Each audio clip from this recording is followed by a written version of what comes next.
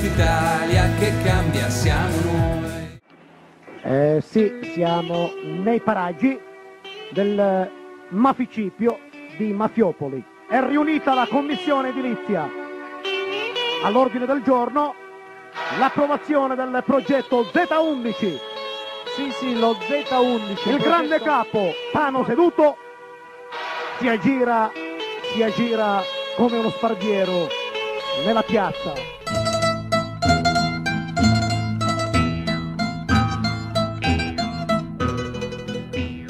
Oggi noi dobbiamo essere concreti. Il nostro compito, abbiamo questa grande responsabilità, di prendere i ragazzi, le nuove generazioni, i giovani di oggi, prenderli per mano, accompagnarli e nello stesso tempo fargli toccare proprio con mano la memoria e la storia perché è fondamentale. A Casa Memoria si vive un'emozione forte perché lì c'è Felicia, c'è Peppino, ci sono loro, li abbiamo resi vivi eh, con i libri di Peppino, con alcuni reperti, c'è una mostra fotografica che ripercorre tutta la sua storia, eh, poi c'è la stanza di Peppino, poi si fa il percorso dei cento passi fino ad arrivare a Casa Badalamenti.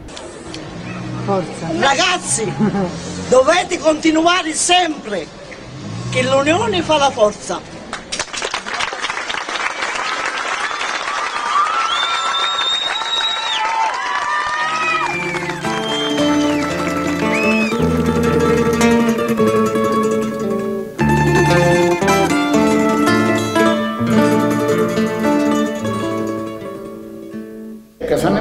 Nasce addirittura il 10 maggio, l'indomani quando Peppino è stato ucciso, perché mia madre decide di aprire le sue porte e rompe già eh, i canoni della cultura mafiosa, perché qui quando moriva qualcuno in quegli anni si chiudevano le porte e per alcuni mesi non si usciva di casa. Invece lei subito apre la sua porta, fa entrare i compagni, gli amici di Peppino, butta fuori di casa tutti i suoi parenti mafiosi e credo che ha contribuito eh, diciamo, a consegnare il figlio alla storia del movimento antimafia. Da quel momento in poi si aprono quelle porte e non si chiudono più. In questi 40 anni abbiamo accolto tantissime persone, ci sono stati incontri memorabili, da lì sono partite le denunce contro il sistema mafioso, contro le attività locali qui nel territorio, ma soprattutto abbiamo seguito dettagliatamente e meticolosamente tutta la vicenda giudiziaria di Peppino.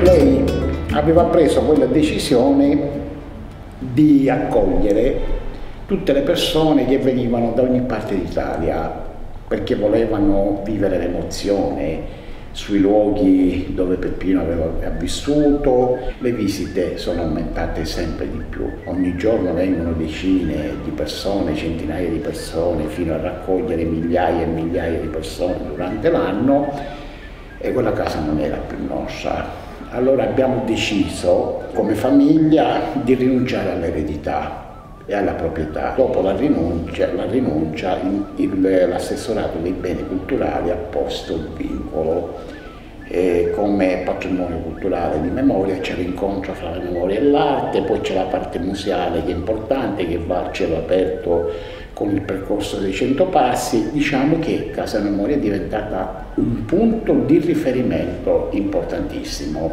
che viene completata pure con Casa Badalamenti, l'ex Casa del Bosso, dove siamo noi in questo momento.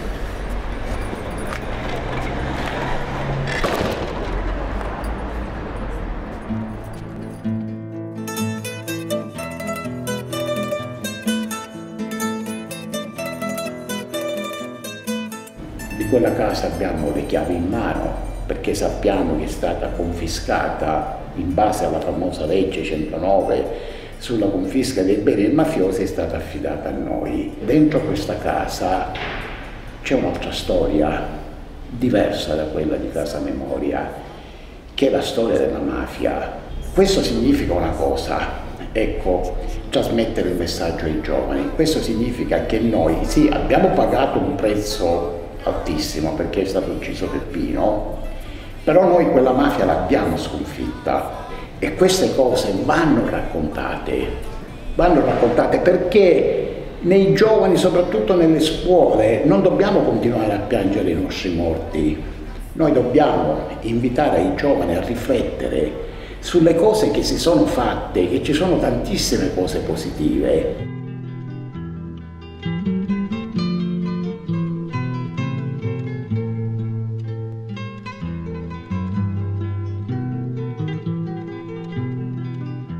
Casa Memoria è gestita da tanti volontari che non hanno conosciuto Peppino, con un direttivo di giovani, un direttivo femminile, forse in omaggio a Felicia, beh è successo così, è capitato questo.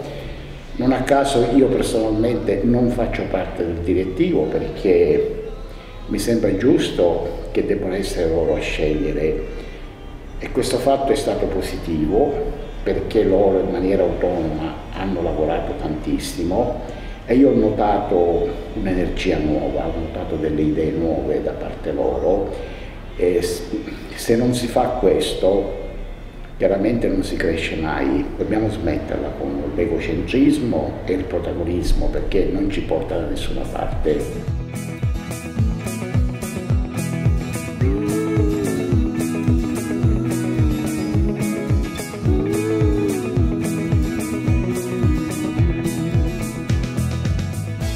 questa è l'Italia che cambia, questa realtà e queste esperienze che si vivono giornalmente, solo in questo modo può cambiare l'Italia. Quest'Italia che cambia non puoi fermare.